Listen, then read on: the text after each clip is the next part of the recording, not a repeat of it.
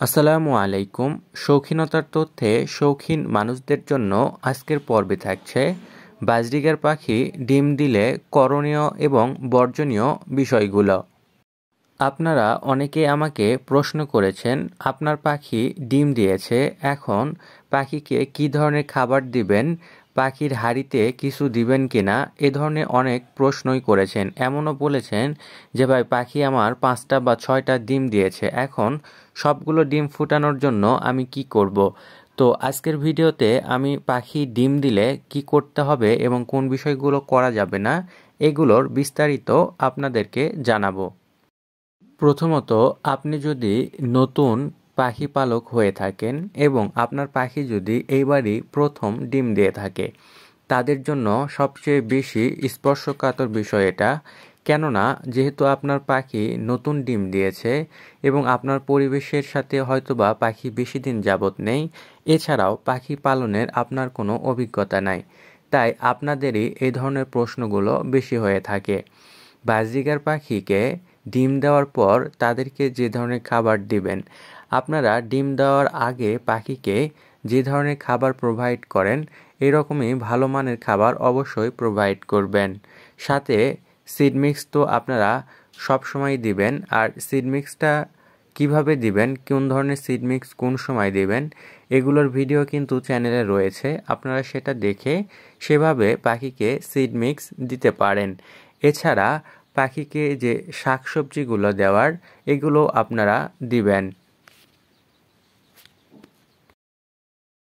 আর এই সময়ে ফিমেল পাখিটা যেহেতু ডিমে তা দেয়, বেশি সময় ডিমেই থাকে, সুতরাং আপনাকে শাকসবজি এবং সফট ফুড এক ফুডটা এই সময় একটু দিতে হবে। বিশেষ করে সফট ফুডটা দিতে হবে। এতে করে পাখি যেটুকু সময় বের হবে, দেখবেন আপনি সফট ফুড বা এক ফুড দেওয়ার পরে হাড়ি থেকে বের হয়ে তাড়াহুড়া করে একটু খেয়ে আবার হাড়ির মধ্যে চলে যাবে। সিড মিক্স অতটা খাবে না। আপনার মেল পাখিটাই যেটা সিড মিক্স খাবে খেয়ে ফিমেল পাখিকে খাওয়াই দিবে। আর এগুলো খাবার এর জন্য আপনাকে অবশ্যই ডিম দেওয়া অবস্থাতে প্রোভাইড করতে হবে। বাজরিকার পাখি ডিম দেওয়ার পরে আপনারা বারবার ডিম ধরতে যাবেন না বা ডিম দেখতে যাবেন না।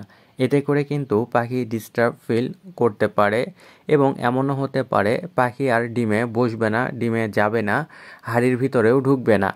তো আপনারা যারা নতুন পাখি পাখি পালক, তারা কোনোভাবেই এই কাজটা করবেন না। নতুন পাখি পালকরাই ম্যাক্সিমাম টাইম পাখির কাছে যায় বা পাখি ডিম দিলে বারবার ডিম দেখতে যায় বা ডিম পরীক্ষা করার জন্য হলেও বারবার দু একদিন পর পর ডিম বের করে। এটা কিন্তু করা যাবে না।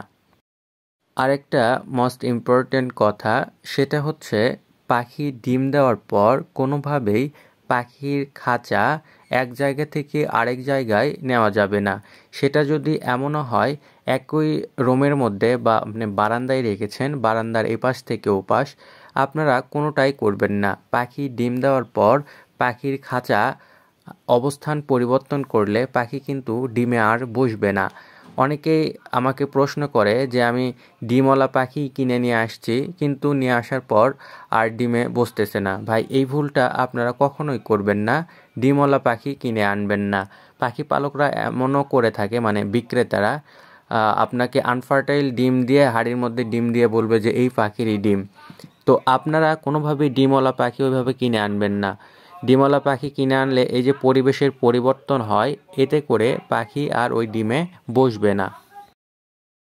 যারা পুরাতন পাখি পালক আছেন তারা, তাদের পাখি হয়তো বা আগেই দু একবার ডিম করেছে, অথবা আপনার আগে আরও দুই তিন জোড়া রয়েছে, সেখানে আরও এক জোড়া নতুন করে ডিম করতেছে।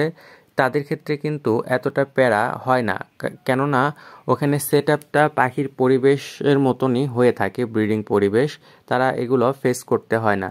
যেমন ধরুন, আমি আমার এই পাখিটার ভিডিও করতেছি, পাখি ডিমে দেখুন, এটা নতুন আমি ব্রিডিংয়ে দিয়েছি।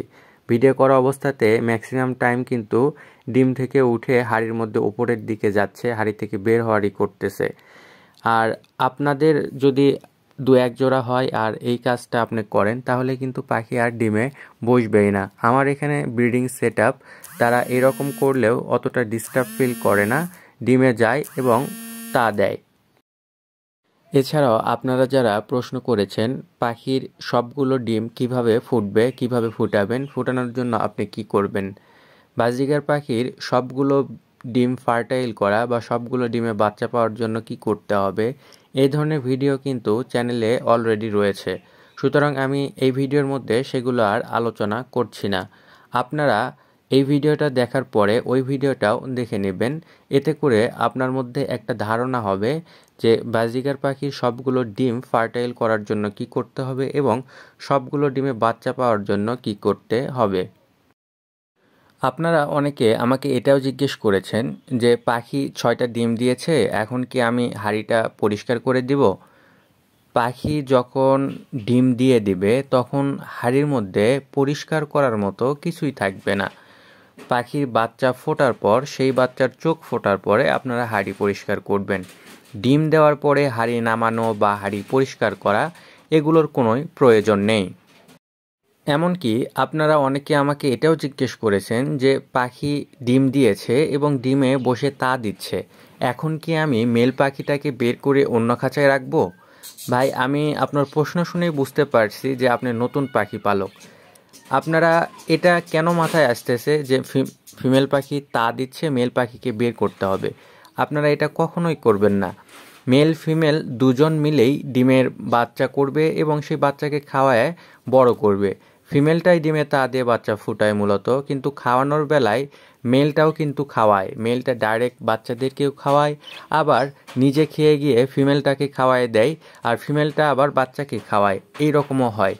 তো আপনি যদি আগেই তাদের মানে বাচ্চা দেওয়ার পরে জোড়াটা ভেঙে দেন, সেক্ষেত্রে কিন্তু ওই ফিমেলটা বের হয়ে যখন মেলটাকে না দেখবে, তখন দেখা যাবে সে আর ডিমেও যাবে না। তো আপনারা কোনোভাবেই বাজিকার পাখি ডিম দেওয়ার পরে এই কাজটা করবেন না। এবারে বাজিকার পাখি ডিম দেওয়ার পরে পরিষ্কার পরিচ্ছন্নতা। আপনারা নর্মালি পাখির পরিষ্কার পরিচ্ছন্নতা যেভাবে করেন, সেভাবেই করবেন।